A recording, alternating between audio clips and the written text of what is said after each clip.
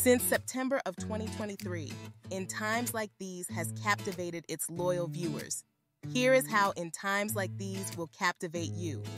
This drama revolves around six families in the fictional town of Valley Park, Florida. The families are the Dorvals, Russos, Torres, Mitchells, Burks, and Franklins.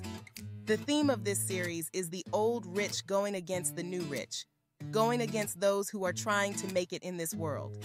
It explores what makes us all different, such as generational differences, cultural backgrounds, religious beliefs, and economic backgrounds.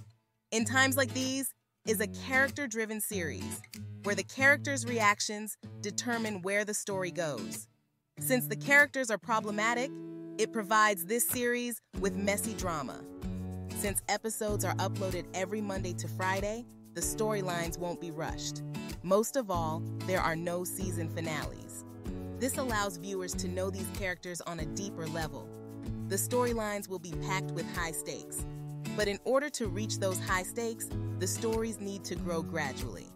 Since every episode and dialogue will drive story, there will be no filler episodes. Though this series can't please everyone, your thoughts on the series matter and will always be taken into consideration. Because this series is shown year round, you get to celebrate holidays with these characters. But remember, this is In Times Like These, not Hallmark. Holiday episodes are not warm and cozy. Holiday episodes are messy. Whenever In Times Like These reaches milestones, like anniversaries, the anniversary episodes will be insane. The anniversary episodes will remind you why you started watching the series in the first place. Realism is very important to this series. Because of that, there will be no ghosts or vampires. Kids will not rapidly age, and there won't be mad scientists trying to take over the world. Even though there will be insane stories, In Times Like These is not a fantasy or sci fi series.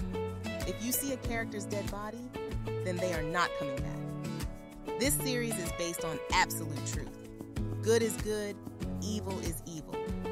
Good characters might do something evil, and evil characters might do something for a good reason. But good is still good, and evil is still evil. In times like these, we'll be packed with cautionary tales. The hope is to see viewers learn something and grow as people.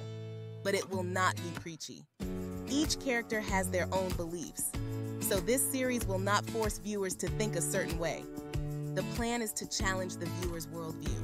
Since the goal is to see this series last for years, episodes are intended to be better than the last. In times like these, we'll tackle current event issues to remain relevant for years to come and to offer character development. Since in times like these shouldn't lose its identity, this series offers an open door to revisit and expand upon the series' past. If you're late to the party, then that's okay. Either you can watch from the first episode, hop onto the most recent episode, or check out the weekly recaps. You're not ready for what's to come, but tune in anyway. Please make sure to like, comment, share, and subscribe.